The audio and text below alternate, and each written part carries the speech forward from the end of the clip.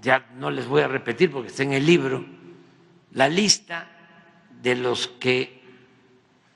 recibían el beneficio de la condonación de impuestos son miles de millones de pesos. Entonces, si todo eso se termina, y así va a ser porque no van a regresar los mismos,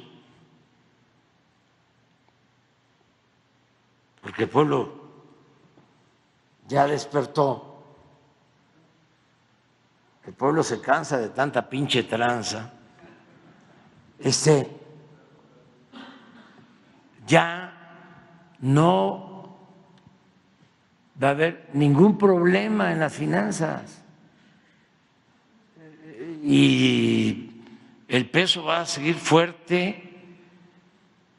y va a seguir habiendo crecimiento económico y empleos.